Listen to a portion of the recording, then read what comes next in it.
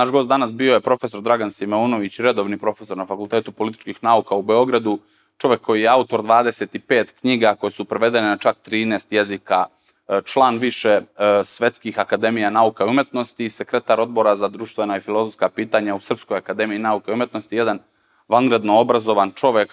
Snimili smo sadržajnu i zanimljivu emisiju čija tema je bila knjiga Politika kao umetnost iluzije, poslednja knjiga profesora Simonovića, ali emisija je zahvatila šire, bila je sadržajnija, bavili smo se i političkim pitanjima i nekim ne strogo političkim, dotakli smo se i uh, kontakta i poznavanja profesora Simeunovića sa Vladetom Jerotićem, sa kojim imamo prisan i blizak odnos, čućete šta je profesor o tome rekao i na vama je da donesete sud o kvalitetu emisije. Hvala vam što podržavate naš kanal, nastavljamo da radimo, nastavljamo da rastemo. Sada profesor Dragan Simeunović.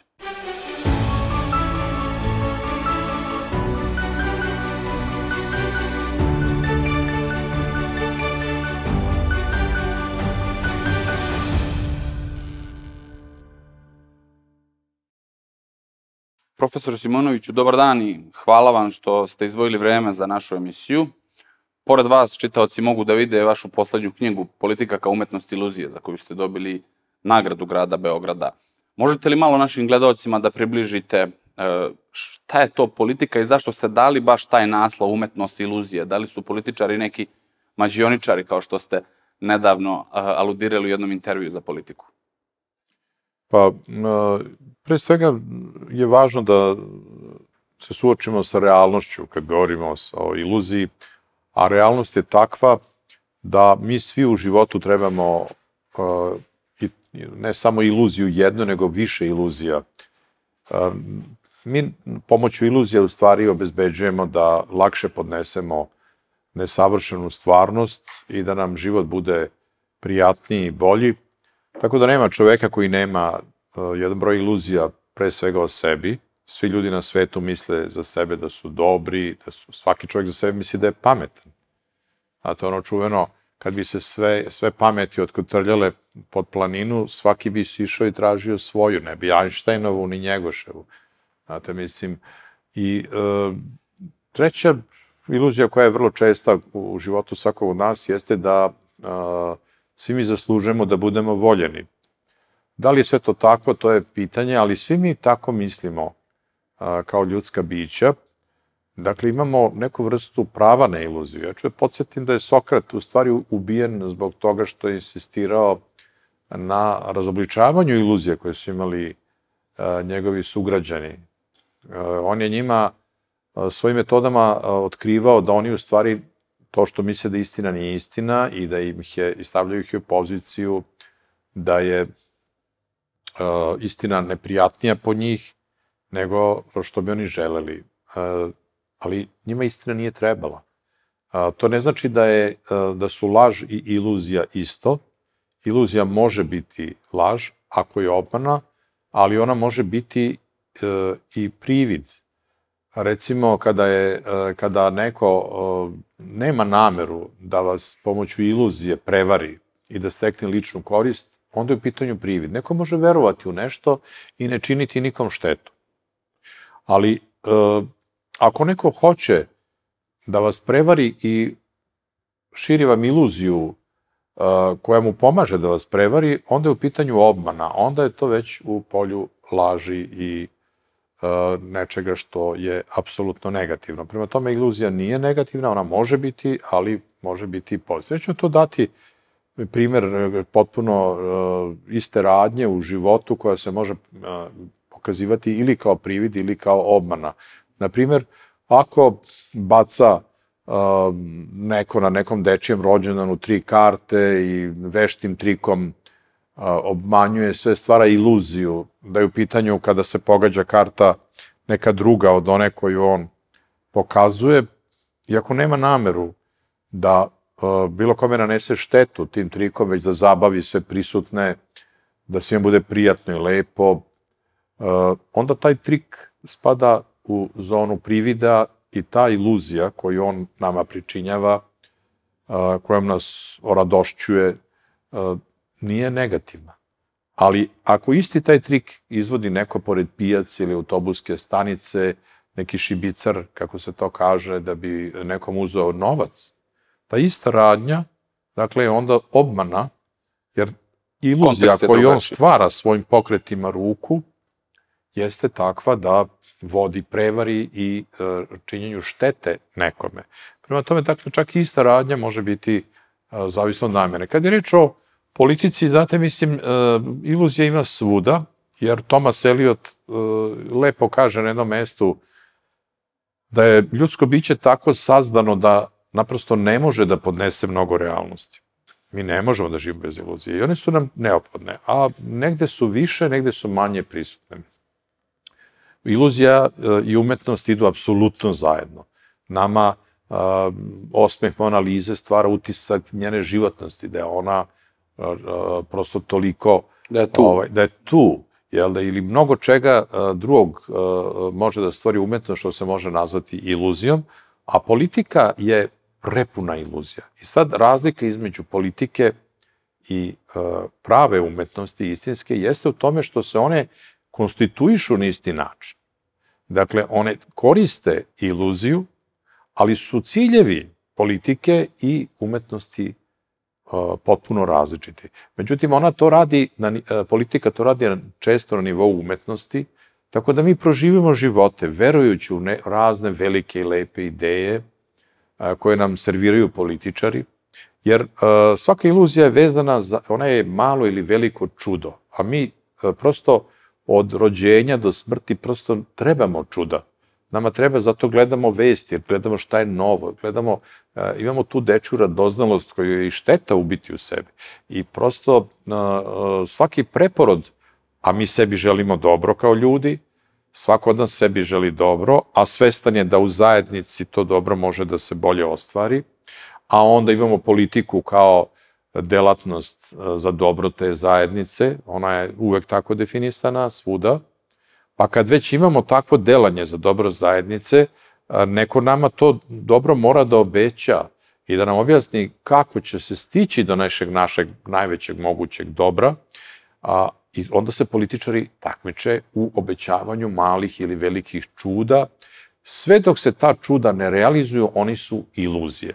Međutim, to ne znači da su političari prevaranti, prevaranti su među njima oni koji obećavaju ono za što znaju da neće ostvariti, da neće ni pokušati da ostvare kad dođu na vlast, ili ako nas svesno obmanjuju zato da bi se održali na vlasti, onda nam šire iluziju o svojoj nepogrešivosti i tako da. Može li se reći da se političari u nekom osnovnom smislu dele na idealiste i na realiste, da su krajnje manifestacije te dve škole sa jedne strane e, kod idealizma fanatizam, a kod realizma neki makijavelizam. Da li biste to tako možda formulisali i koja od te dve škole ima više uspeha u, uh, ajde da kažemo, u prodavanju te iluzije, ako nije preteška reč, prosto u, u načinu interakcije sa masama? Pa vrlo su redki e, političari koji su istovremeno, koji su krajnje izoštreni tipovi koje vi navodite, ili čisto idealisti ili čisto realisti. Najčešće su oni mešavine, a možemo i tako klasifikovati, kako ste vi rekli, idealiste, realiste, uh, u zavisnosti šta preteže kod njih, da li idealizam ili realizam. Uh, idealisti uh, možda lepše žive jer veruju u nešto, a vera je velika stvar. Znate, vera ide uvek uz nadu, ide uz ljubav prema nečemu, bilo da je u pitanju ideja, narod ili već nešto drugo čemu se političar posvećuje u svojoj ideji, dok realista ima više e, i bolje rezultata e, od idealiste. E, međutim, jedni i drugi se služe iluzijama. Oni su tu jednaki, što se jedni i drugi služe iluzijama s tim što realista procenjuje možda tačnije šta se od, obećane, od obećanog može ostvariti, kada i kako, dok idealista često se potpuno udalji od realnosti i onda obećava Veruju svoju one stvari. I idealista, ako je pravi idealista, on nije sklon uh, obmani, nego je sklon prividima. On obećava često stvari koje su na granici fantazije, ali kažem, za svaki preporod, a mi svi žudimo za preporodom, jer preporod je radikalna promena nekog našeg stanja nabolje, svaki te preporod uvek ide uz čuda nema, e, e, i mi od onih pradavnih e, zajednica u istoriji, plemena i nadalje, uvek se čekalo čudo koje će da projavi preporod. A onda kad se desi preporod, onda političari to koriste, vezuju taj preporod za sebe i čudo vezuju za sebe. Tako smo imali i harizmatske vođe kroz istoriju. Svi ti slavni političari, državnici, carevi, kraljevi su uvek u stvari bili na neki način čudesna bića za ostatak naroda. I Inkarnacija su, Boga na zemlji je bio kralj. Prvo u početku, da, vremenom sada e, smo im omeđili mandate, jer često su mnogi za sebe tvrdili da su da čine dobro, ali nisu činili dobro i onda nije posla drugog načina nego da okrvavite presto i mnogi su prestali zapravo okrvavljeni jer nije bilo nekog mandata. Mi smo danas relativno humanizirali politiku time što smo stvorili mogućnost da budu birani na četiri godine jednim, u jednom ili više mandata. U svakom slučaju danas se greška da lakše ispraviti ako se izabere neko ko je pogrešan. Može li Srbija u ovom sve podeljenijem svetu da zadrži svoju neutralnu politiku, pošto je utisak da smo na neki način u procepu, jer se ta linija hladnoratovska pomerila ka istoku, a mi smo ostali na zapadu, ipak pokušavamo da e, u određenoj meri vodimo neku neutralnu politiku. Mislite li da je to održivo? Pa Srbija po meni treba da radi ono što je za nju najbolje. Ona uh, ima rukovodstvo, mi smo na takvoj geopolitičkoj poziciji da mi svakako razumemo i istok i zapad. I međutim, mi smo, treba samo čitati Svetozara Markovića, Srbija na istoku i shvatiti da mi ne možemo tek tako prelamati i stajati na jednu stranu i drugu stranu bez neke velike koristi ili bez neke velike štete. Mi imamo određeni uh, geopolitički interes, onda imamo interes zaštite naš, uh, integriteta naše teritorije, imamo interes ekonomske saradnje na, uh, kad je reč o zapadu, imamo razne interese i to je prirodno da mi imamo razne interese. I s obzirom da imamo razne interese, mi smo možda i u prednosti što ih možemo zadovoljiti na više strana. Teško onoj zemlji koja je negde smeštena samo duboko u zapadu ili teško na istoku, pa ne može da koristi uh, te prednosti granice. Mi smo, uh, sam fenomen granice uh, je takav da podrazumeva da smo mi otvoreni ka nekome i on prema nama, to su sve mostovi saradnje i zašto mi ne bismo koristili razne mogućnosti, jer mi smo i siromašna zemlja i relativno malobrojan, i uvek treba reći malobrojan, a ne mali narod, nego malobrojan narod, uh, I mi moramo misliti o svome dobru. I ako neko iz sujete ili iz nekog svog geopolitičkog interesa hoće da apsolutno budete na njegove strani, onda to mora da nam nadoknadi, a ne može da nam istovremeno neko uzima Kosovo i da traži da budemo uz njega. Da, nije logično. Znate, mislim, nije logično. Onda mora da se odrekne tog zahteva taj koji onda traži da budemo na njegovoj strani geopolitički, apsolutno, onda neka se odrekne podrške nezavisnosti Kosovu jer mi na ovoj drugoj strani to dobijemo. Isto tako, ako bi uh, Rusija ili Istok tražili, tu računam i Kinu, i BRICS, ako bi tražili od nas, uh, isto tako od nas, da, uh, i verovatno i traže, da budemo na nekoj strani njihovoj, apsolutno njihovoj, onda bi mi isto morali da kažemo, izvinite, ali mi imamo jako veliku ekonomsku korist od Evropske unije, mi pripadamo Evropi, Zašto bismo mi to uradili? Uopšte, zašto bismo mi podlegali priticima? Ja mislim da je trenutna politika kakva se sada vodi, kakvu uh, sada vodi naše rukovodstvo na čelu sa Aleksandrom Vučićem, kada je reč o saradnji i sa istokom i sa zapadom, savršena. Uh, je li održiva? To je pitanje. Jeste. Ona je održiva za sada, to je očigledno. Uh, znate, ne zavisi sve u svetu od nas neka iznenadna promjena, početak nuklearnog rata, eventualno, ne daj Bože, u Evropi, neka dramatična izmena bi mogla naterati naše rukovodstvo da zauzme drugi stav. Ali Pretnja neka, sankcije, to bi, slično. To bi onda se razumelo. Pa mislim da same sankcije ne verujem da mogu da tek tako promene stav, jer znate, mislim, eh, ovaj, treba biti na strani onih koji vam sutra hoće, hoće recimo u parlamentu da uvedu uh, klauzulu o vama kao genocidnom narodu. Znači, neko se mora odricati toga, a u politici je česta laž, ne samo iluzija, nego i laž česta i teško je verovati i zato mislim da je najbolje ovo svoje gledati i nastojati da sa svima budemo dobri, da sa svake strane Uzmemo imamo, šta nam treba, da. da uzmemo šta nam treba, koliko nam treba i da pritom sačuvamo svoje dostojanstvo kao narod i država, jer ja ne vidim ništa pogrešno u saradnji, pogrešno je ratovati, ali ja recimo se zalažem i za još bolju saradnju sa susednim narodima, a, mi treba da sarađujemo sa ovaj, i sa onim narodima s kojima smo imali loše iskustva u istoriji. Treba li se integrišemo u iste organizacije s njima? Pa, da vam kažem, u onoj pokazalo meri, uvek u onoj meri, nikad ne treba ni slepo srljati negde gde posle mm, se možete i pokajati. Treba ići u onoj meri u kojoj vam je to odista neophodno. A tu političar mora da razlikuje svoju ličnu korist od koristi naroda i države, kao zajednice e, koju predvodi. Ja mislim da to za sada stvarno u redu i, e, kažem, ne daj Bože nekih radikalnih izmena, jer mi se nalazimo na kontinentu na kome se odvija jedan jako veliki i težak e, vojni sukob. E, prema tome, kažem, ne zavisi sve od nas, ali ovako kako je sada stanje, mislim da je održivo ovo naše ponašanje. Pokrenuli smo pitanje sankcija. Nedavno su sankcije uvedene šefu naše bezbednostno informativne agencije. Koliko to uh, može da poremeti naše nacionalne interese i šta uopšte mislite, da li je to uobičajena praksa u međunarodnim odnosima?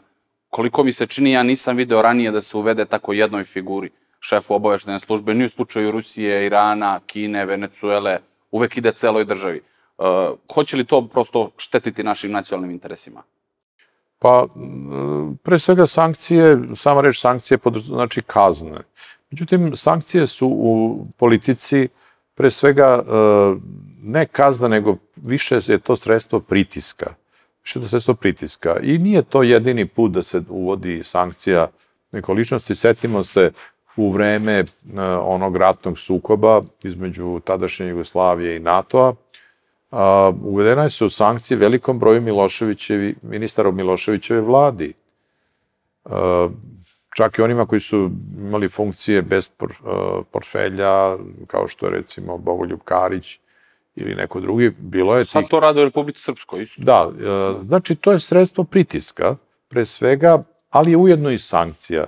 A, mnogo su opasnije sankcije koje se uvode a, društvu, državi one su opasne. Ove sankcije pojedincima su više neka opomena, naznaka da a, a, mogu da uslede i sankcije celoj zajednici, celoj državi. One su opasne, one su pogubne po državu i narod, ali ove individualne sankcije su često politički izraz političkog stava a, i pokušaj da se neka ličnost kazni i slično. Da li je u konkretnom slučaju, kada reč, kad me pitate sankcija koja je čisto, ja bih rekao, političke prirode, o tome treba uvek da se da misli i da odlučuje sam vrh države, jer je on najmeritorniji s obzirom da raspolaže informacijama, donosi odluke. U ovom slučaju, po meni, stav koji je zauzeo predsednik države Aleksandar Vučić je sasvim meritoran. On ima, on raspolaže s najviše podataka, on raspolaže o tome da li i to može da proizvede i kakvu štetu. Očigledno da on ovaj, o tome sigurno jako dobro vodi računa i a, ja nemam tome šta da dodam ili da oduzmem, nego da je to prosto, što kažu, i njegova dužnost i da on je čovek koji to može najbolje da proceni. Ajde da se prebacimo malo na regionalne prilike. Ako se slažete, nedavno je Kurtijeva poseta e, Makedoniji izazvala, ajde da kažemo, veliki politički skandal. On je tamo se pojavila na tom skupu zastava Velike Albanije. Da li je Velika Albanija projekat koji već postoji, koji se razvija pred našim očima, ili je to neka babaroga kojom nas plaše? Koje je vaše mišljenje? Pa pre svega koncept Velike Albanije je u jednom trenutku već bio realizovan. To je, da vas podsjetimo, u vreme drugog svetskog rata, uh, uz podršku italijanskih okupacijonih vlasti, bila je stvorena Velika Albanija.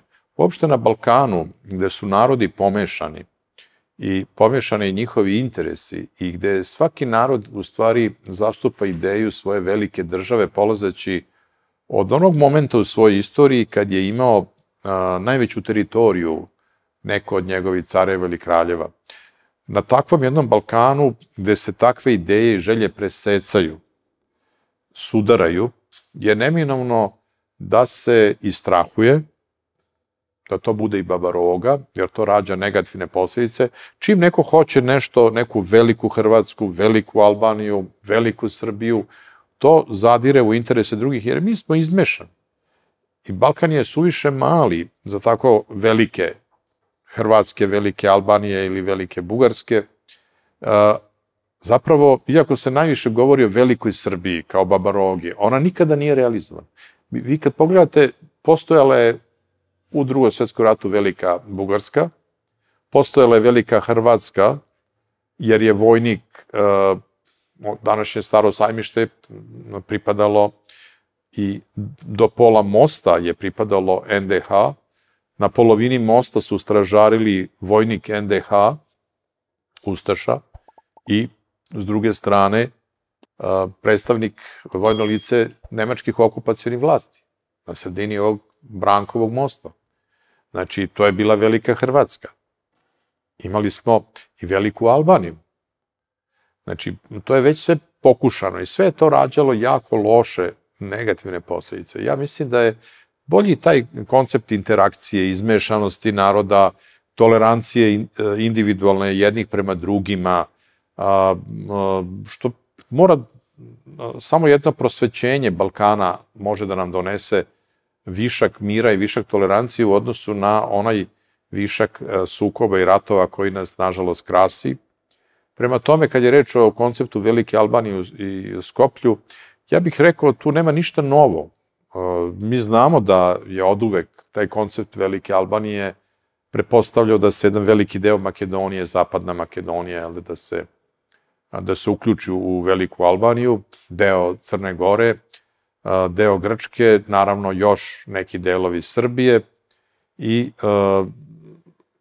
to je ideja koja se povremeno promoviše. Međutim, ono što je tu novo jeste da u ovom trenutku je Albin Kurti sebe promovisao u Makedoniji kao lidera, kao budućeg vođu te velike Albanije. Ja vidim da kod nas postoje različite mišljenja o tome ko u stvari je nosilac ideje o velikoj Albaniji. Da li je to u pitanju Albanija ili je Priština. Međutim, ja bih rekao da ako se to pogleda analitički precizno, da su jedni i drugi u pravu. Jer samo je pitanje u kom periodu je ko nosilac toga projekta. Nekada je bio nosilac projekta, bila je Tirana, bila je Albanija. Oni su nam stvarali OVK i koji se tad nije zvao OVK, stvarali su razne terorističke grupe staljinističkog profila. Oni su to radili, njihova služba Sigurimi je to radila decenijama na štetu, a pre toga su bili pomagani od Italijana kao država. Međutim, sada u ovom trenutku je mnogo militantniji centar Priština, kad je reč o, o velikoj Albaniji, i tu je Albin Kurti koji ima prosto jednu ideju o sebi kao vođi svih Albanaca, očigledno u nesuglasju sa Tiranom. Ne oko toga, i Tirana i Priština se slažu da treba stvoriti veliku Albaniju. Nego se ne, uh, samo ne slaže oko toga ko će to da bude. On je sebe promovisao, on je prosto sebe na neki način pokazao i, i njemu su se i poklonili tamošnji uh, albanski vođi kao uh, nekome ko je u ovom trenutku neprikosnoveni lider. Ali ja kažem to je u ovom trenutku, zato ne treba, stvari se u politici koja je inače vrlo dinamična aktivnost, neprekidno menjaju u ovom trenutku jeste on najistaknutiji separatista, jer on leči svoj kompleks. U spisima znamenitog nemačkog politikologa Klausa von Bajmea, prevedeno je i kod nas, preveli su u stvari prvo Zagrebčani i ja sam prevodio njegove tekstove, on govori o tipu političara neurotičara, koji se zapravo leči politikom. I to vam je Tipičan primjer je Albin Kurti. On je čovek koji je imao osjećaj inferiornosti zato što nije držao oružje. U, na uh, Kosovo i Metohiji, ako vi niste čovek sa oružjem, vi ste manje vredni, vi niste maltene muško. Deci 99. Se, ili i danas?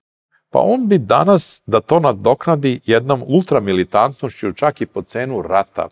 Jer on uh, vidi da Amerikancima uopšte nije bitno. Amerikanci nemaju, odmah da se razumemo, uopšte im nije stalo do Velike Albanije, oni nemaju ništa protiv. Oni to gledaju sa vojne tačke gledišta. I NATO i Amerikanci gledaju to sa vojne tačke gledišta. Njima je važno da je Balkan u zoni desnog krila gledano od Ukrajine, desno krilo koje popunjava NATO i da oni su već uspeli da uvuku i Crnu Goru i Makedoniju, naravno baza je vojna već na i trupe NATO-a su na Kosovo i Metohiji e, i oni to prosto na taj način gledaju. Njima je važno da oni imaju stvorene jedinice a, i oni to ne gledaju njih mnogo, te naše državice koje postoje, a, te veličine nisu uopšte bitne njima. Znate, oni gledaju koji je bataljon, koliko snaga, kako se on uklapa bataljon u Albaniji sa bataljonom a, u Makedoniji, kako se ovaj, kompletiraju tehnička sredstva i sve ostalo što ide. Oni to gledaju kao vojnu celinu. Prema tome nemaju ništa protiv da se napravi Velika Albanija, ali, ali oni to nešto naročito i ne trude se da se to Postoji napravi. Teza, Više oni to tolerišu. Postoji teza da njima ne odgovara dominacija bilo koje etničke grupe na balkanskom prostoru, bilo Srba, bilo Albanaca, jer prosto onda ta ta etnička grupa može postati neka vrsta primjera okolnim narodima, može postati neki integrativni zamajac, onda može doći do nekih ideja o suverenitetu balkanskih naroda, da prosto oni ne vole, oni vole da nas drže iscepkane, podeljeni, da mogu da manipulišu tim našim nerešenim konfliktima. Jel se slažete s tim? Znate ne samo oni, nego svaka imperialna politika. Pa, Amerikancima je stalo da oni budu dominanti.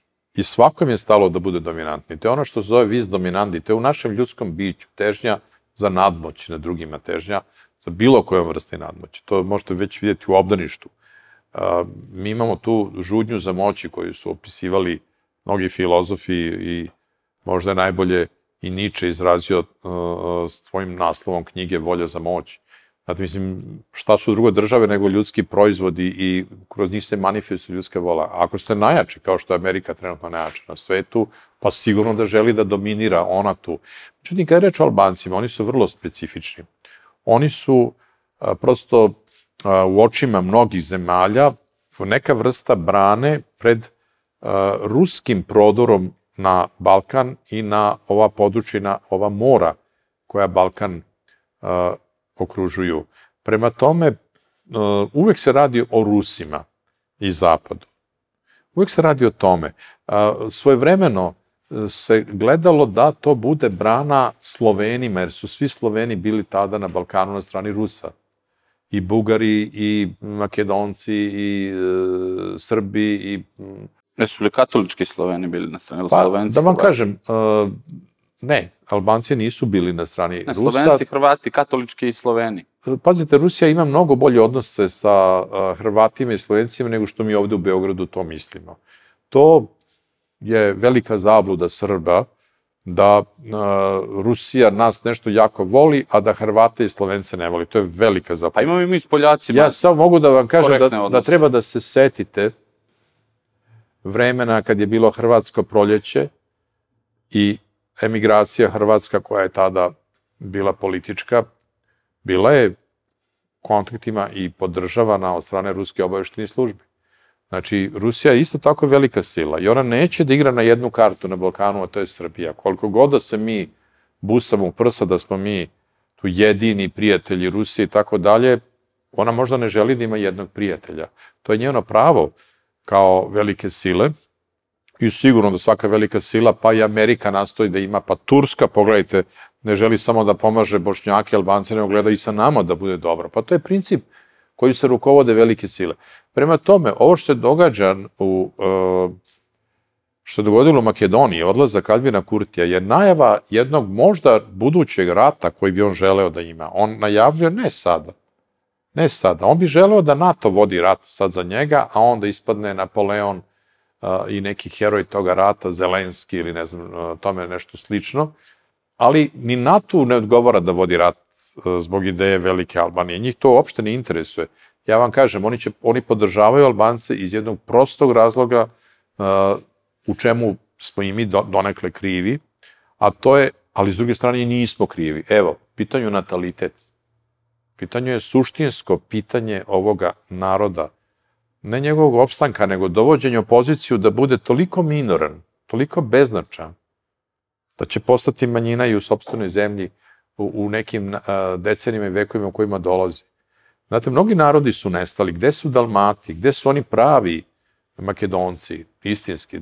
Dođu neki Sloveni pa se nasale, pa po toj teritoriji se u Dalmaciji nazovu Dalmatima ili Dalmatincima. Isto se tako nasele u Makedoniju, u Slovenu, pa se, ali to nisu oni izvorni stanovnici po kojima se nosi ime. To se može desiti i Srbiji. Znači, Albanci imaju jedini u Evropi a, priraštaj koji je na svetskom vrhunskom nivou.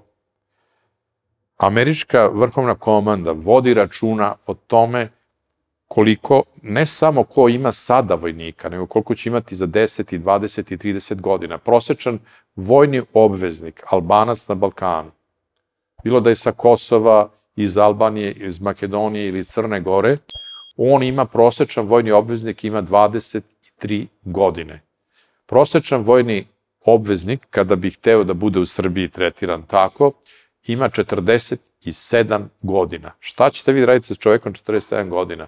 ga pošaljete u Afganistan, da ga pošaljete u mirovnu misiju, da vam ratuje protiv Ukrajine sutra ili nešto uh, što oni Ali planiraju. menja se to, znači, profesore. 27 godina je prema poslednjim istraživanjima prosečna starost u albanskog vojnika. To je bilo pre 10-15 godina, 23. Vi to, to, se sve vi menja. to gledate, ali ja vam govorim, ja sam precizno rekao o albanskom življu na celom porušenju gde žive oni. Ne, vi sad gledate samo u jednoj sredini, kad ste to rekli, 27, ali pogledajte kako je u ovim drugim sredinama. I drugo, nemojte zaboraviti, mi se stalno hrabrimo činjenicom da se smanjuje broj a, stanovnika na Kosovu kada je reč o Albancima, ali oni su otišli u Švajcarsku i Nemačku, oni bi se sutra vratili da ratuju, nemojte ovo što misle. Pa na kraju bili bi, mislite bi se neko ko bili je bi počeo da naterani- živi na visokoj nozi vratio da ratuje? Bili ko bi na- ušao u pare neke? naravno da bi bili naterani, i s druge strane kod njih je solidarnost mnogo veća nego kod nas. Oni koliko god da imaju plemenske razmirnice koje mi nismo znali da iskoristimo. Ja sam u svoje vreme predlagao da se koriste plemenske razmirice, a, dok je postala Socialistička Jugoslavija, radi a, što je moglo da spreči da ublaži separatizam i te kako, jer kad se neko o svom jadu zabavi, on nema onda vremena za neke veće planove ni za veće iluzije, kakva je, kakva je i velika Albanija. Ali da vam kažem, znači u svakom slučaju e, naše karte nisu izgubljene, mi imamo formalno pravno osnov da tvrdimo, jer upravo stav koji je jednom zauzeo svet na osnovu odluke Badinterove komisije, ja sam s Badinterom razgovarao o tome. Ja sam znao šta nas čeka. Mi smo jedini koji smo imali dve pokrajine.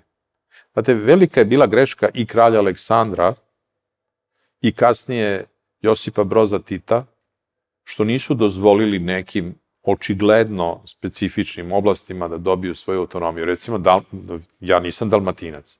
Ja nikakve, nemam ni rođake, ništa, ali je velika nepravda da dalmatincima koji su i jezički, i istorijski, i kulturološki drugačiji, da im nikada, nikada nisu dobili svoju autonomiju.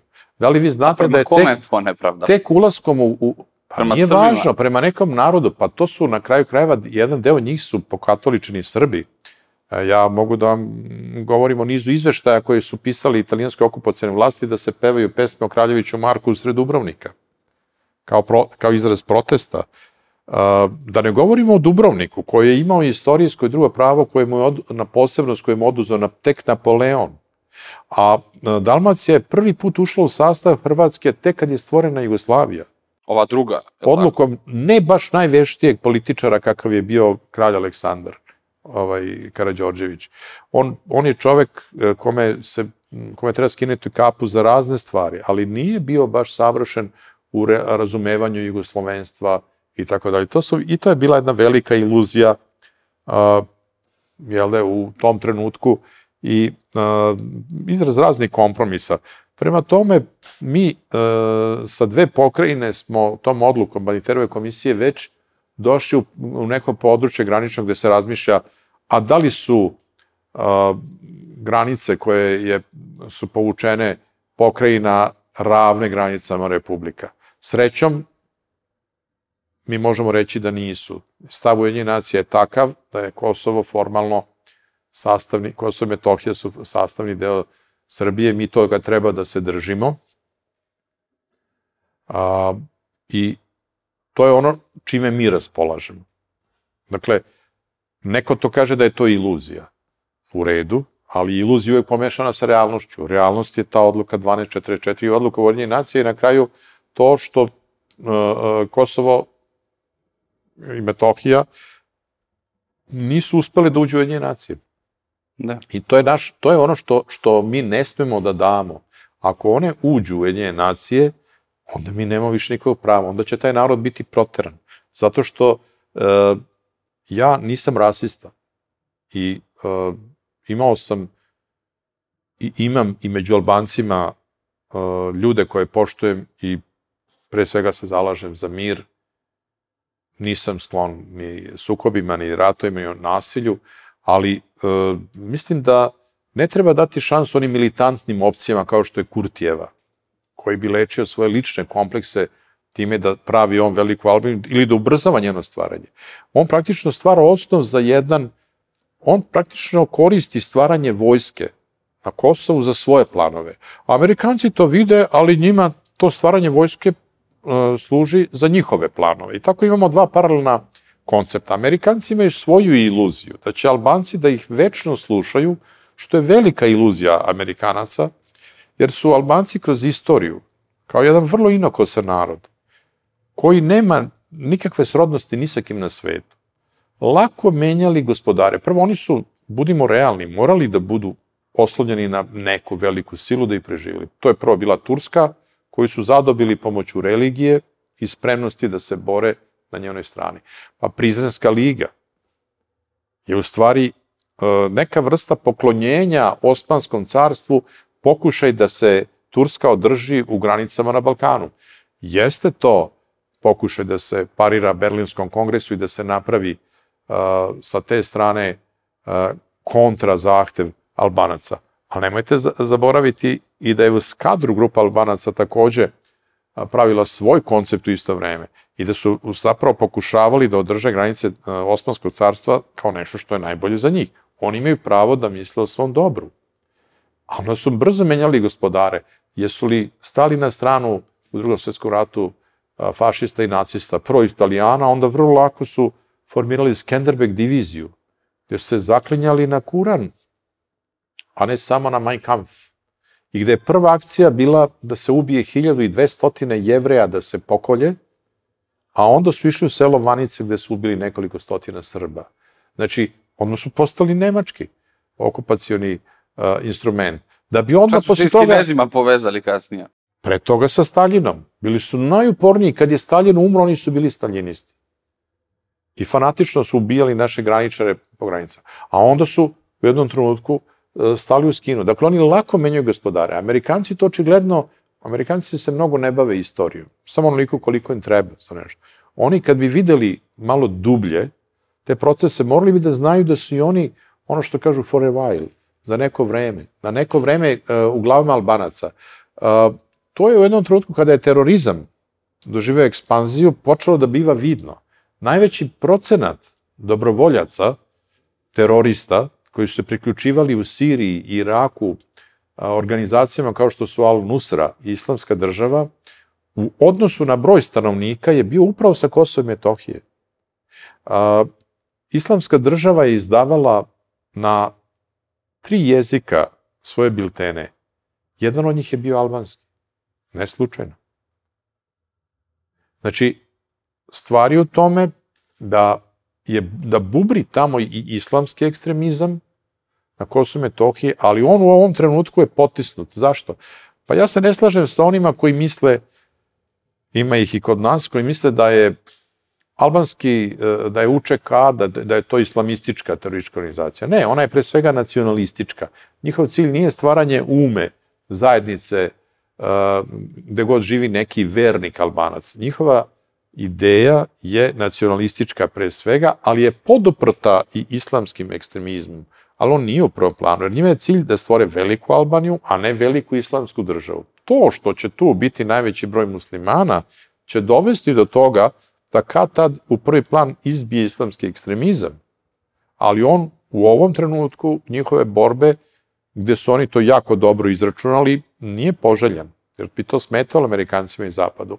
Prema tome, stvari treba posmatrati u njihove celovitosti, u njihovoj međuzavisnosti sa onim što se događa sa strane i na celom Balkanu. I meni e, je jasno da Kurti teži jednom ratu.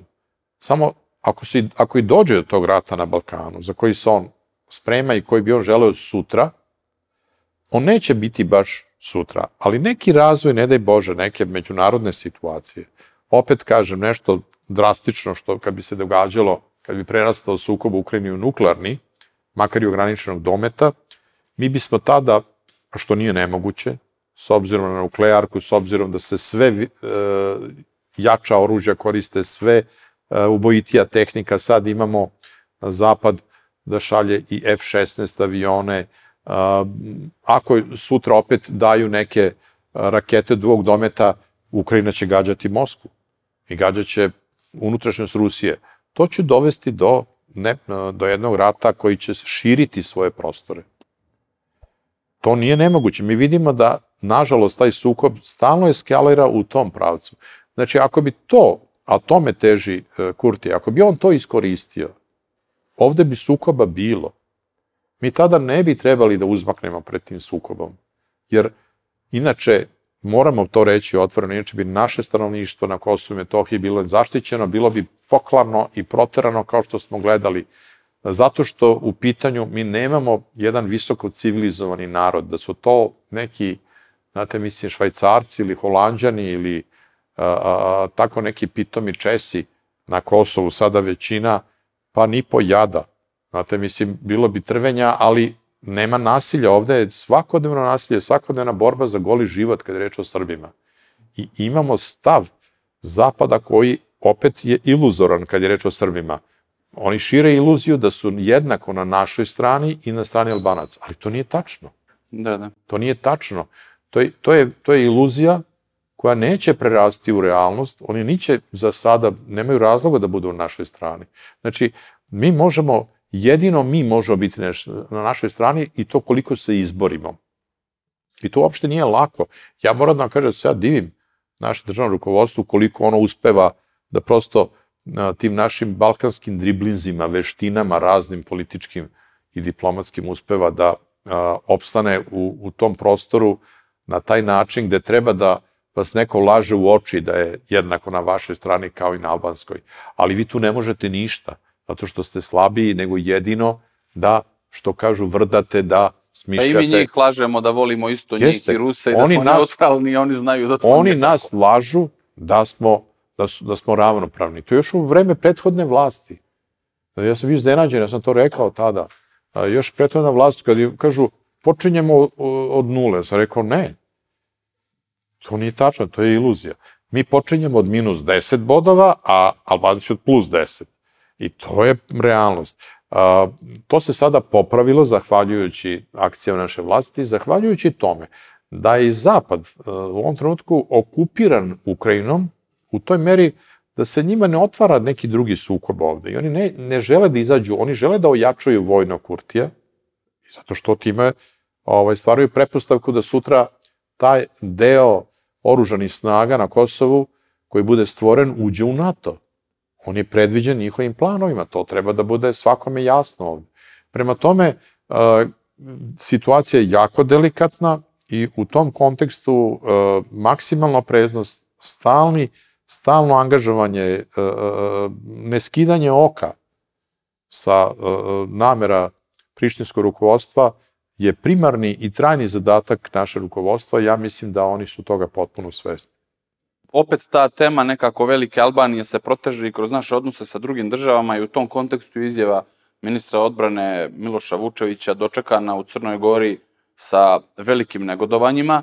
Uh, on je rekao da će se obiti o glavu to što su priznali Kosovo, jer veliko-albanske pretenzije sežu i do Crne Gore i sve se otvorenije manifestuju. Kako to tumačite? Pa ja ne vidim u toj izjavi ništa pogrešno, da vam kažem. Ministar Vučević je to krajnje dobronamerno rekao, prosto bratski, bratski je to rekao, nema tu, uh, to je glupo i nekorektno tvrditi da ima tu uh, elemenata pretnje. On je prosto hteo da kaže da su oni nešto pogrešili zbog, zbog njih, zbog njihovog dobra. To je jedan vrlo korektan i bratski odnos prema uh, Crnoj Gori. Šta je problem? Ja tu reakciju vidim kao odbijanje da se uh, prizna da su oni u nečem pogrešili. Svoje vremeno je Milo Đukanović priznao da bi se oprao, priznao je Kosovo kao što je pobegao od Miloševića, kao što je stvorio posebnu državu privatnu, to je privatna država bila kad je pravljena, da bi, da bi se oprao od svoje saradnje i bliskosti sa Miloševićem. On je morao to da radi, ja to razumem, ali to ne može sada, ali to tako treba da se shvata, da je čovek to radio da bi uh, ovi sa zapada ga ostavili kao vladara, inače bi ga skinuli. Ali to onda i ovi njegovi sledbenici moraju da shvate da je on to radio, sebe radi, i da to ne znači da, da je bio bezgrešan. Ko od nas, ja, vi, ko uopšte i postoji da ne čini greške sem gospoda Boga? Prema tome, ja mislim da ovaj e, je ministar Vučević to rekao krajnje dobronamerno, bratski. Zašto? Pa zato što će im sobiti o glavu upravo o čemu smo malo prepričali. Pa neće valjda Kurti oprostiti šta, takvima kao što su se javili da oponiraju ministru Vučeviću, da im oprosti, da kaže, evo, pošto ste dali takvu izjavu, mi ćemo da im ostavimo teritoriju koju smo planirali, crnogorsku teritoriju da uđe, pa oni planiraju da dođu do Nikšića, do Kolašina, da uzmu ceo skadar, to, su, to, je, to je nešto što oni, to ne pada im na pamet da prave veliku Albaniju bez dela Crne Gore, koji sada pripada državi Crnoj Gori. Prema tome, šta takvi misle? Jedno je priznati Kosovo i Metohiju da udovoljite Amerikancima i da na taj način vas održe na vlasti kao što činio Milo, a s druge strane biti glup pa verovati da koncept Velike Albanije će zobići tu parču Crne Gore zbog takvih nekorektnih izjava. Prema tome, njihova reakcija je nešto što prosto je po meni neki refleks prošlih odnosa. Mi srećom sada sa Crnom Gorom gradimo mnogo bolju situaciju, ovo novo rukovodstvo je svesno da ne može neke odluke koje zonete menjati, ali gradi, nastoji da gradi dobre odnose, da ne varniči, jer je prethodna vlast stalno, to mislim na vlast Mila Đukovića, stalno gradila neku vrstu e, napetosti između Srbije i Crne Gore, koja je veštačka. Pa narodi i u Srbiji i Crne Gori, uh, to su najbratski narodi koji postoje. To je, e, to je isti narod u krajnjem. To što se formira nacija, pa nacija je politička tvorevina, možete formirati sutra od Hercegovaca zbog njihove specifičnosti i teritorijalnosti i istorije, pa i oni su imali državu i hum i zahodnje. I možete tako proglašavati redom, u ostalom broj država na svetu raste. E, kada je posle drugog svetskog rata su stvorene nje nacije, bilo je jedva stotinak država, pogledajte da ih je sada već skoro 200. Neprekidno raste u Africi postoji hiljadu i nešto sporova plemenskih koje teže da se odvoje razne etničke grupe i da stvore svoju sobstvenu državu. I, I mi ćemo imati porast broja državica i država i sve će ličiti na razbijeno ogledalo sa puno malih komadića i nekoliko velika komada. I to je jako opasno po budućnost sveta, zato što će te male državice, koje spada i Crna Gora, realno govoreći, a, i druge neke na Balkanu, a, prosto znate kao kod razbijenog gledala, kad izvadite i ono malo parče, kad se ono destabilizuje, kad se ono iščupa, onda se celo gledalo sruši. I nama se može dogoditi neki veliki svetski rat u budućnosti zbog tako nekih malih država, njihovih ideja. Ja a, mislim da su to vrlo opasne stvari i da ljudi a, ni, koji su to tako reagovali nisu tog nekog velikog kalibra, da oni promišljaju te stvari na neki dublji način. Treba biti oprezan sa susedima treba biti najbolji. Stara uh, uh, istočnjačka mudrost govori da sused je važniji od brata ako uh, ti brat stanuje daleko, a sused blizu, sused može i da ti gasi požar, a može i da ti ga podmetne. Zato je sa susedom svakim a, treba biti trpeljiv, graditi odnose uzajemnog uvažavanja, poštovanja, upozoravati na ono što te ne odgovara, jačati ono što odgovara jednima i drugima i ja mislim da će sada doći period mnogo bolje saradnje s Crnom Gorom, bez obzira na ovakve kontraizjave. Kad smo kod suseda, sve bolji odnosi između Srbije i Mađarske su doveli do toga da su verovatno najbolji trenutno u istoriji, a vi ste imali s tim u vezi jednu zanimljivu ideju da bi Srbija trebalo da postane suvlasnik nuklearne elektrane u Mađarskoj i da od toga generiše sobstvenu električnu energiju. Mislite li da zbog čega je to prosto odakle vam jedna takva ideja, mislite li da to realno da izvodljivo i kako bi reagovali? Prvo, to nije moja ideja uopšte. To je ideja naše države. Rukovodstva koje je rezonovalo sasvim ispravno u momentu kada je Evropi i svim evropskim zemljama, pa i nama, zapretila nestašica energije, pre svega električne energije, ponovo se okrenule mnoge evropske zemlje ka nuklearkama, kao konceptu. Mi imamo neslaganje među, recimo, među Francuski i Nemački, ali imamo i u samoj, recimo, nemačkoj politici faze. Zavisi ko dođe na vlast, koja partija. Ova partija je, recimo, neka koja je na vlasti, zastupa koncept da se ne grade nuklearke, sledeća zastupa da se grade i tako dalje. To su političke odluke. U jednom trenutku je Nemačka bila, sećate se, ne tako davno, protiv upotrebe uglja. Manje države, poput nas, moraju da se povinuju u onoj meri u kojoj to njihova ekonomija, njihovo ekonomsko dobro čini oštećenim ili unapređenim. Mi ne možemo postojati kao u svemiru, znate, ni ličiti na Severnu Koreju. Mi moramo da sarađujemo sa državom, mi moramo da se uklapamo u koncepte, naročito u koncepte susednih zemalja radi saradnje. Pa kako bi nam stizao gas ako smo u svađi sa svim zemljama gde ide gasovod ili ne znam gde, pa od toga ne bi bilo ništa. Znači, ne, ne, no, to, je, to je jare i pare situacija. Ali, Nije kod nas nuklearka, opasnost od havarije na njihovoj je. strani, a mi dobijamo... Ja sam prednost. to u jednoj izjavi, uopšte ne znam zašto, zašto se tome pridavalo toliko pažnje, ja sam u izjavi podržao. Prvo, ne gradi se nuklearka kod nas. Ja sam podržao, uh, Mađari grade pa grade nuklearku.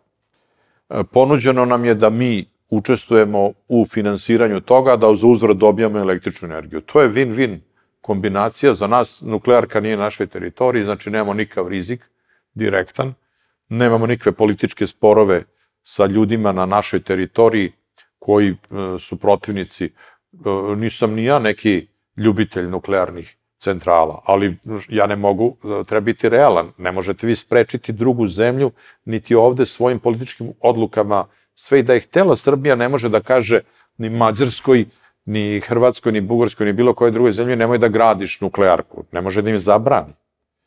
To je nemoguće po međunarodnom pravu, a i potpuno deluje ovako suviše, e, znate, mislim, nadobudno da mi možemo nekom da zabranjamo. A ako već neko pravi, i ako mi možemo toga u vremenu nestašice električne energije da na taj način obezbedimo sufinansiranjem, količinu električne energije da bi naše fabrike radile, da bi naši građani imali normalno uh, i osvetljenje i električnu energiju u meri u kojoj je to neophodno.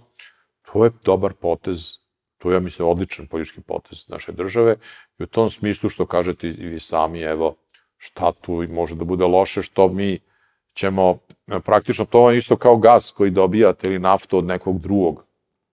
Neko vam dotura samo, jel da, energiju, vi tamo plaćate, a sav rizik je na njihovoj teritoriji.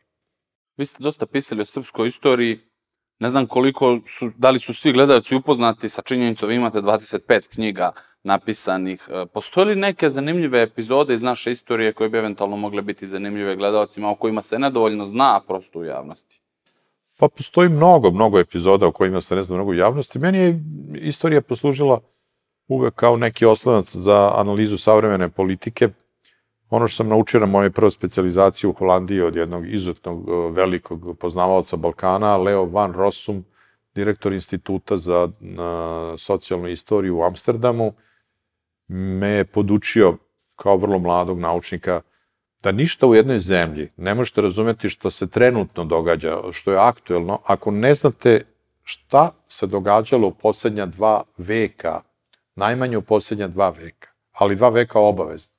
I to je kod mene rodilo interes da se bavim novovekovnom političkom istorijom, ali pre svega in, uh, uh, ja, sam, ja, sam, ja nisam istoričar, nego sam politikolog. Ja se bavim analiziranjem uh, političkih ideja i političkih procesa.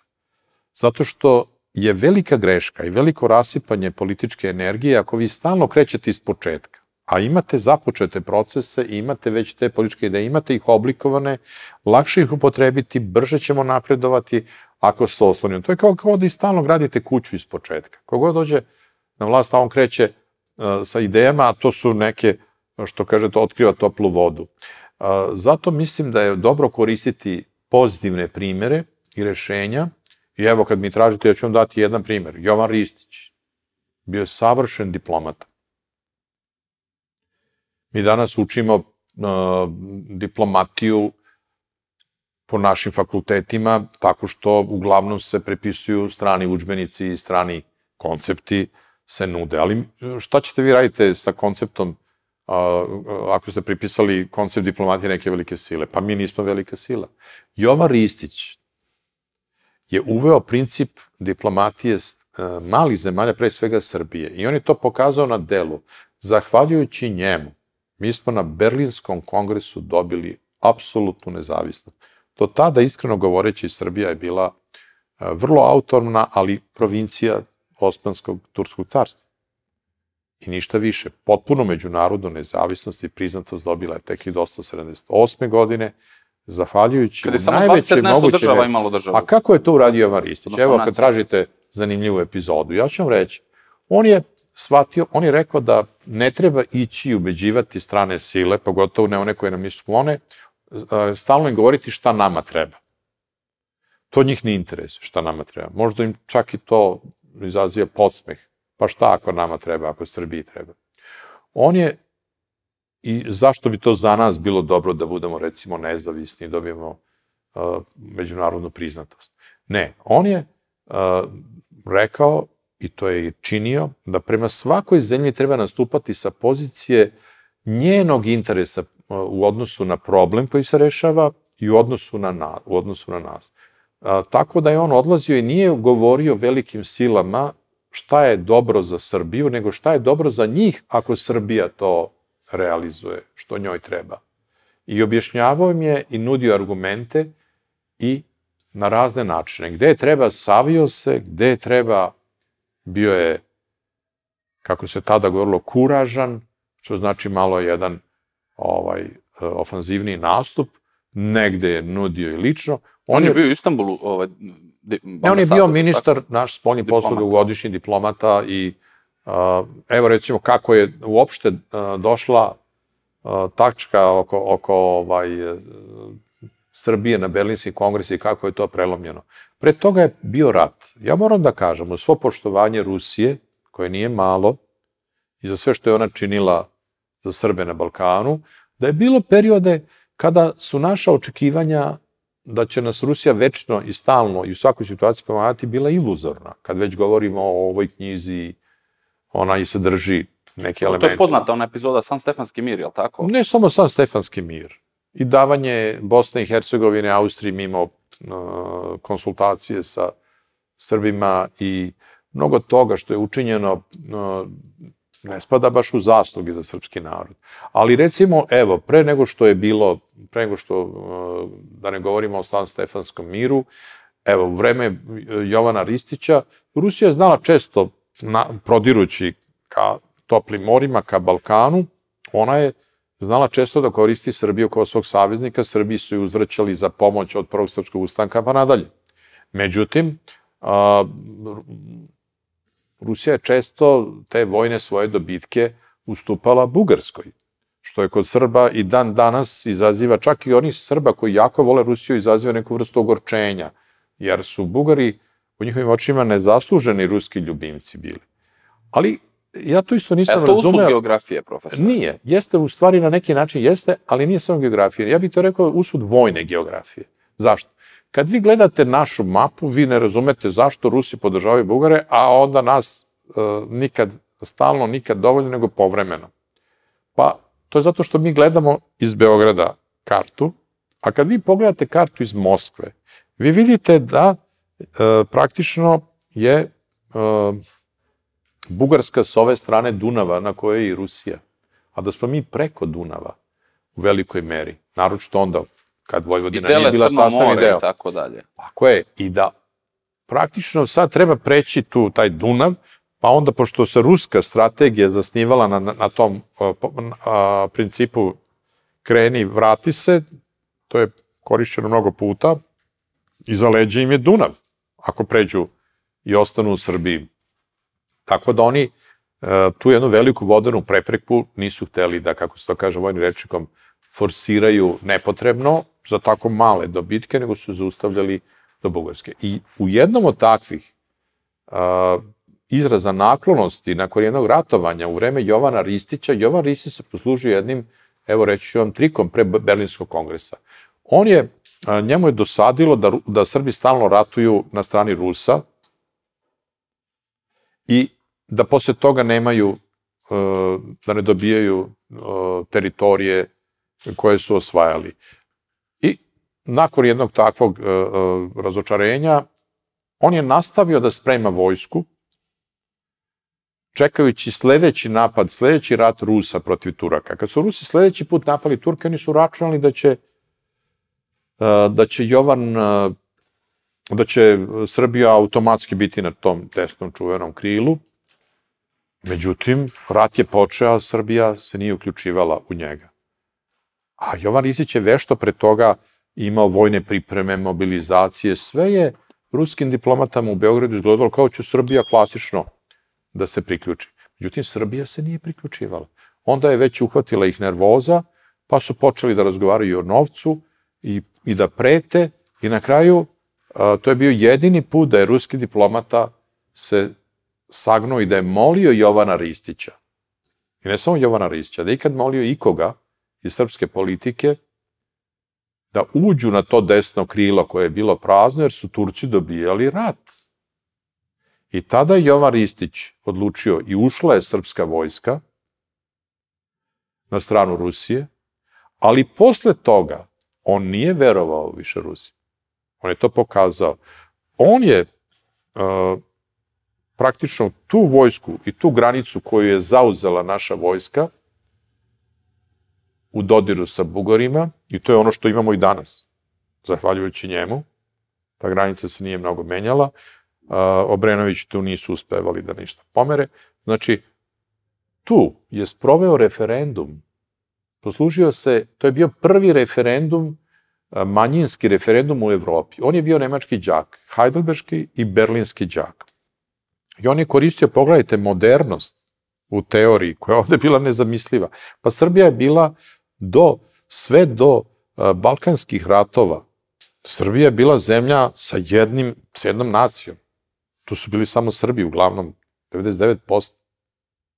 Tek od balkanskih ratova mi dobijamo razne manjine, računajući i albansku. Kad, kad vraćamo Kosovo i Metohiju u svoj sastav. Šta je uradio Jovan Ristić?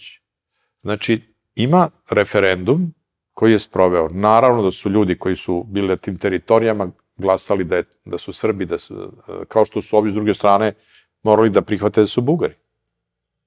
Budimo otvoreni. A onda je iskoristio ovo što treba raditi i danas. Znači, on je kao nemački đak zamolio svog profesora, čuvenog profesora istorije Rankja, koji je pisao o, o nama sa velikim poštovanjem, o Srbima, pisao je knjigu Srpska revolucija, on zamolio Rankja da posreduje kod Bizmarka da se na Berlinskom kongresu, na koji Srbija nije bila ni pozvana, nije ni učestvovala, bila je u lobiju, u hodniku, imala šansu da učestvuje, ona je bila pokrajina Turskog carstva. Znači, da samo li zamoli Ranken Bizmarka da pročita Ristićevo pismo, odnosno pismo države Srbije.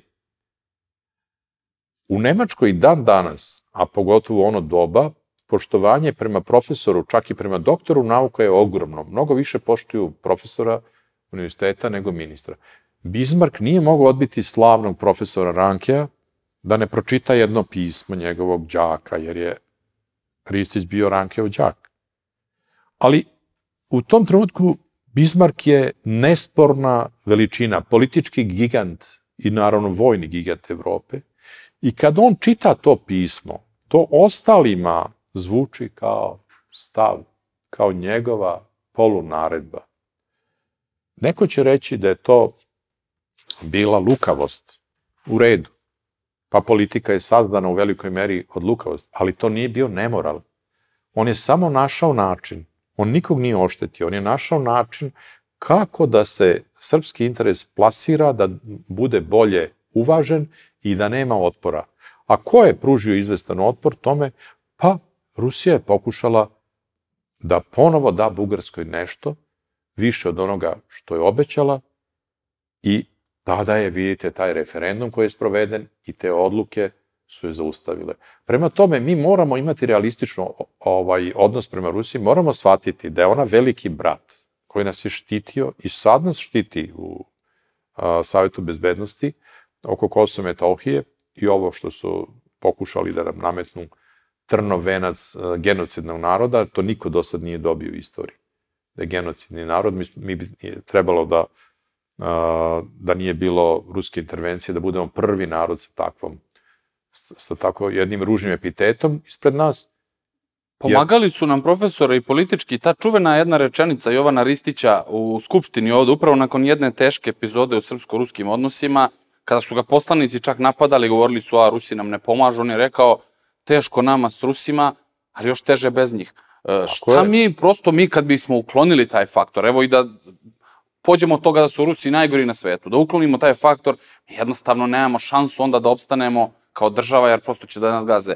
I da li moramo prosto i o tome da vodimo računa Kad to je ta teška pozicija koju govori Ristić je potpuno ista danas. Pa ne, s kojim pravom mi očekujemo od Rusije i e, potpuno je, znate, ja razumem e, voleti nekoga iracionalno. Ja sam znao i da kažem Rusima, mi smo jedini narod na svetu koji tvrdi da vas voli svaka emocija i svaka ljubav iracionalna, a podrazumeva jedan stepen idealizacije. Isto tako nas vole Rumuni, kao što mi ne znamo zbog čega volimo Ruse, tako i Rumuni ne znaju zbog čega vole nas.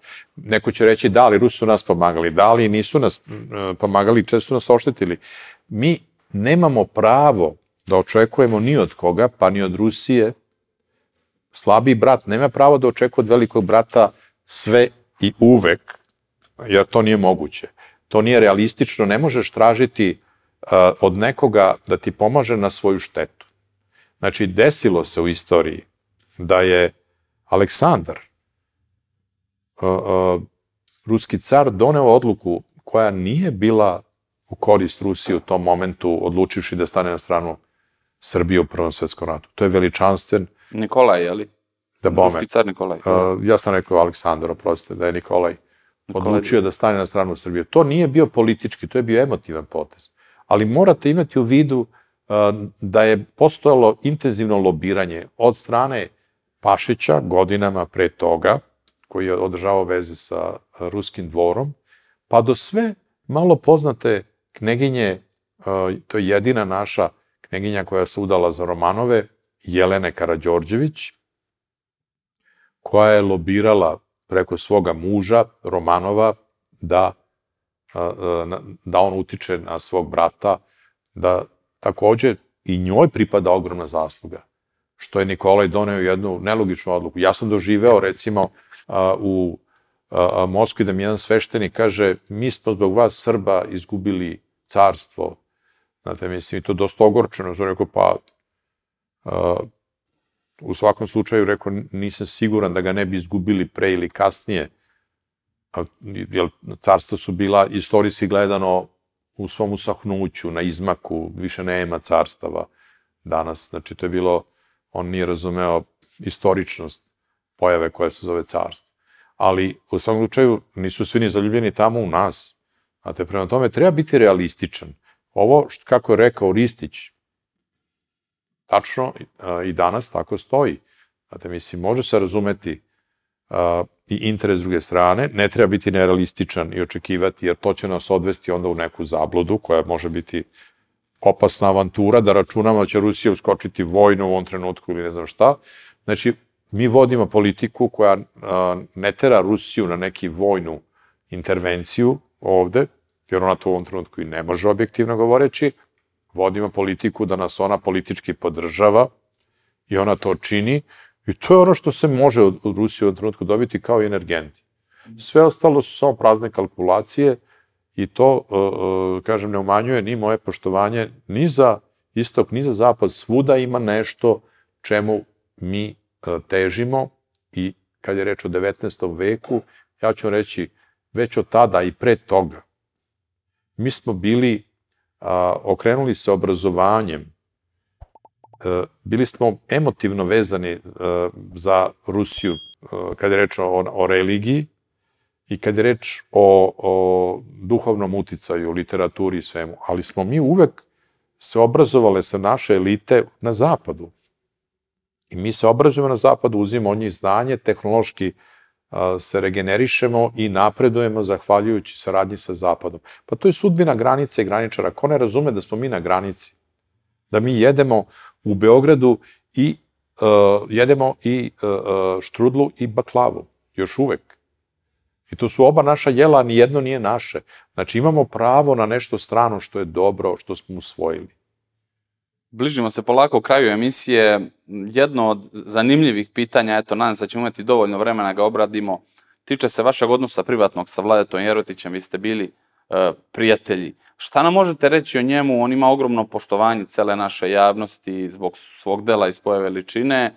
Kako se uopšte dogodilo da se zbližite? Imate li neku anegdotu možda zanimljivu za naše gledalce? Pa mogu da vam kažem da e, nisam ja izabrao Vladetu Jerotića nego on mene. On je bio veliki psihijatar, veliki čovek, ne možete se vi njemu nametnuti i ne možete ga prevariti. Mnogi ljudi koji će ovo gledati će u sebi bar potvrditi da je ovo istina. Teško je njemu bilo i prići. Ovo je naprosto, kad me pitate kako je do toga došlo, ja ću vam reći, on je prosto bio jedan vrlo jak čovek kad je reč o njemu kao ličnosti, vrhunski intelektualac, po meni izuzetan prosvetitelj, možda i poslednji prosvetitelj velike srpskog naroda, koji je spajao razna svoja znanja i interesovanja iz teologije, iz psihijatrije, iz književnosti, iz filozofije, onda bi on to sve upakovao i kroz svoja jednostavna predavanja delio kao životnu filozofiju našem e, ipak nedovoljno prosvećenom narodu i ta nedovoljna prosvećenost nas dosta i košta. Ja mislim da je Vladeta Jerotić čovek za svako poštovanje. Kako on spojio teologiju i psihijatriju? To je malo neobičan spoj. Obično se kaže da jedna drugu negiraju, ajde, u Pa ne uvek. Ja, ja ću vam dati primer, recimo, uh, on je uh, voleo uh, Jungovo učenje. A Jungovo učenje se poklapa sa hrišćanskim u nekim delovima.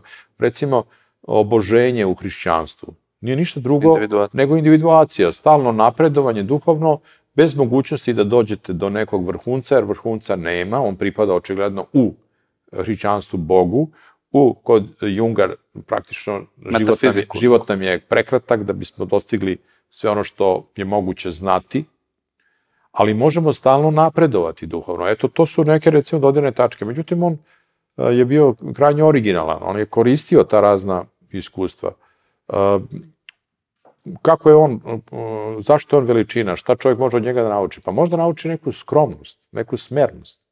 I prva stvar koju sam naučio od njega je ta vrsta neke smernosti. Ako se odrekneš od toga da si ne pogreši, da si perfektan, da moraš stalno biti perfektan, mnogo ti je sve lakše u životu. Uh, Znači, to je već prva stvar koja... Perfekcionizam, koja... znači, opterećuje čovek. Jeste, perfekcionizam. Da pokušaj da stalno budemo, stalno budemo maksimalno uspešni u svemu je nemoguće. Drugo, spremnost da priznate grešku. Ja sam malo pre rekao, pa ja sam sigurno u životu grešio mnogo čemu, a ja sam ga i slušno slušao kad on kaže da je pogrešio. Znači, kada usvajamo grešku, ne pred autoritetom, nego pred argumentacijom. A kako je on mene zadivio uopšte, Uh, on je, svojevremeno je Miša Jeftić pravio knjige o raznim poznatim ljudima, pa je tako, iako sam bio mlad, bio odlučio da napravi knjigu i o meni.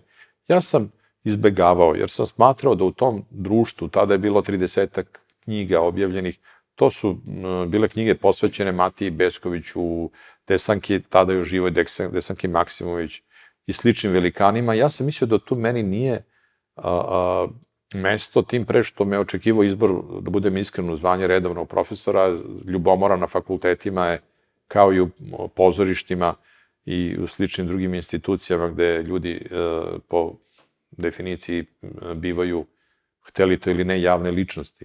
A, nisam želeo da imam probleme prilikom izbora na fakultetu, da drugi ljudi koji često nemaju ni svoje knjige, kažu, gle, on ima, tad sam imao možda 6-7 knjiga, da ima, kaže, i da on ima i knjigu o njemu. I odista sam bio prema, izbegavao sam neko vreme na razne načine, a onda jednog dana sam prihvatio da on to napiše, kad, kad sam bio izabran u zvanje redovno profesora, iskreno govoreći. Tad sam mislio, pa dobro, neka bude izliva ljubomore, preživeću.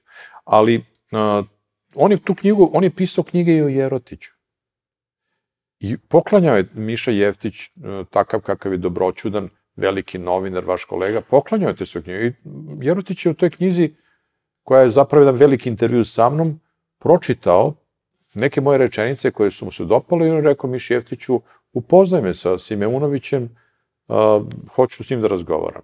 I kad mi je to saopštio Miša Jeftić, ja sam bio malo uzbuđen, jer to je ipak jedan gest da jedan velikan hoće da upozna nekog mladog čoveka. I on mi pitao dosta strogo na tom prvom sastanku za dve moje rečenice. Prva je bila šta znači to što sam rekao nije važno biti bogat, važno je ne biti siromašan. Ja sam rekao da prvo ne može svako da bude bogat, naročito ne materijalno, zato što možda genetski nema dovoljno usađen taj nagon za skupljački nagon, nagon za sticanjem koji kad je pojačan vodi čoveka u pretranu pohlepu i on samo želi u životu da bude bogat i ništa drugo, a to je jedna vrsta neuroze po meni. I nije ni važno biti bogat. Važno je ne biti siromašan, ni duhovno, ni materijalno. Kaže, a zašto ne materijalno? Pa rekao, zato što siromaštvo, kad je materijalno siromaštvo, ponižava.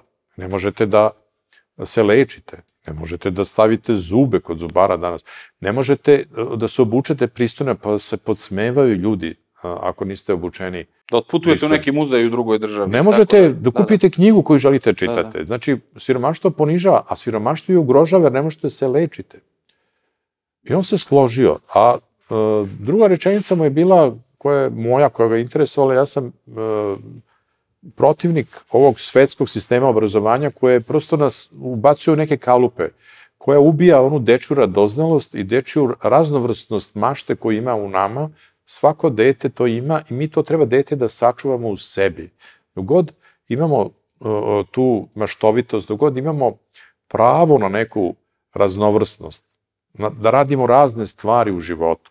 I on je zato i teologiju i filozofiju i uh, ovaj, psihijatriju i književnost, odlično poznaje, jer ga je to sve interesovalo u raznim poljima, ostaje velike tragove.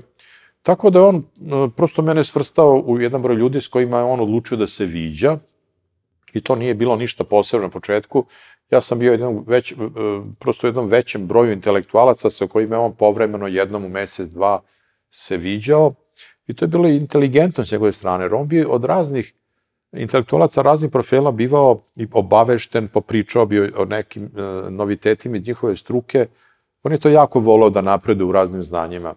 A onda e, je počeo da me zove da, e, e da, gest koji me oduševio nije bio e, toliko što me pozvao da razgovaramo, nego što je on rekao Miši Jeftiću da će, i meni, da će on da prikaže tu knjigu o meni. Ja sam bio zbunjen.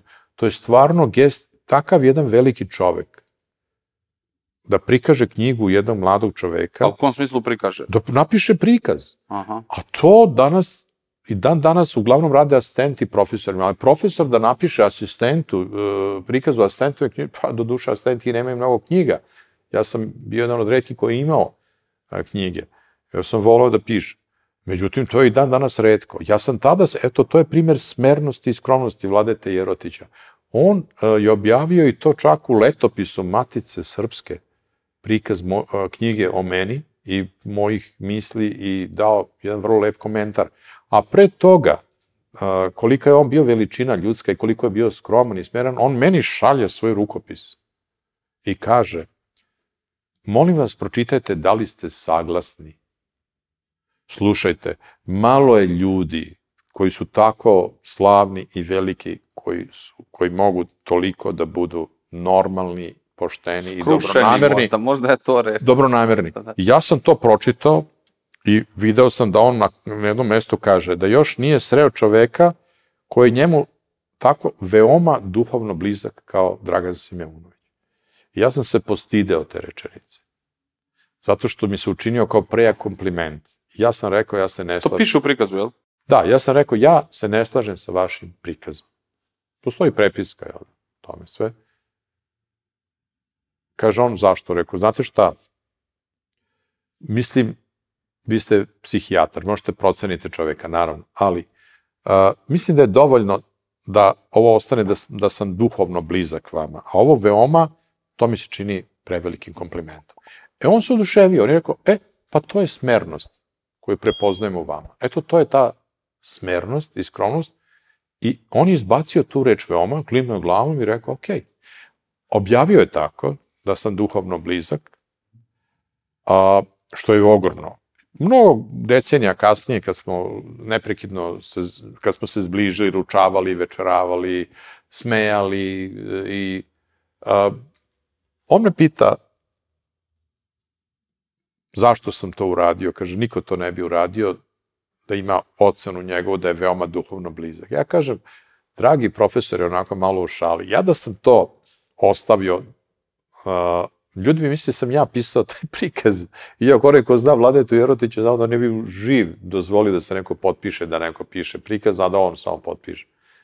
A on se smeje, kaže, dobro, smatram to šalom, vi ste ipak bili smjerni. Rekao, jest, smatrao sam da je to prejako i da to ne treba da stoji. Ali evo on kaže, a vidite da sam bio pravo, mi smo sada veoma bliski i tako. Prema tome, Vlade Terotić je bio jedan gigant, poslednji prosvetitelj našega doba, čovjek, jedan od najuticajnijih intelektualaca u Srbiji poslednjih pola veka. Trebate samo da, da vidite kako snimke sa njegovog poslednjeg predavanja u koje je imao u biblioteci a, grada Beograda, u biblioteci Srbije. Ja sam otišao, Narodno? Narodna? u Narodnoj biblioteci, ja sam otišao to da snimim. Ljudi su ne samo popunili salu, ne samo hodnike, ne samo ispred sale, stajali su u onom prostoru gde se kače kaput biblioteci, stajali su po stepenicama, stajali su ispred Narodne biblioteke gde su morali da iznesu zvučnike. Pa ko to može da ponovi? To je bio Vladeta Jerotić jer je narod osetio u njemu dobru nameru, on je držao predavanja i našim gastarbajterima skroman i smeran i davao je ogromne priloge za narodne kuhinje, živao je ne asketski, već e, normalno. Bio je jedan izuzetan čovek uh, i uh, drago mi ja sam založio da dobije ulicu u Beogradu, ja mislim da Dobio je. Jeste, ja sam to obrazlagao, ne znam da li je postavljena tabla, ako nije... Jeste, jeste postavljena, je on živeo možda u toj ulici ili je rođen tu, zašto je baš ne, ovde? Ne, on je rođen u Zadarskoj ulici, Aha. ali ona je data jednom drugom književniku a njemu je bila namenjena neka ulica uh, na periferiji Beograda, ne zlom namerom tadašnjeg gradonačelnika. Ja sam otišao i zamolio sam uh, zamenika gradonačelnika da se to ispravi, da je on čovek koji je živeo u urbanom jezgru ceo život i da ne treba da ima neku ulicu tamo na nekoj blatnjoj periferiji gde još nema asfalta. A mislim da je ovde sa Tako da je dobio, dobio je, trebalo da dobio gornji deo Dalmatinske ulice. Dakle, samo pola, jer Dalmatinska zaslužuje da ima i dalje, bar u polovini, svojoj jednoj polovini svoj naziv. Hvala vam, profesore, na ovom gostovanju. Eto, prvo je, ali nadam se da nije i poslednje. Siguran sam da će biti još knjiga, a nadam se da će biti još i prilika da ih mi prikažemo u našoj emisiji da porazgovaramo o političkim dešavanjima. E, poštovani gledalci, bio to profesor Dragan Simeunović. Ostanite uz novi standard. Možete nas naći na adresi www.standard.rs. Do sledećeg gledanja. Prijetan ostatak dana.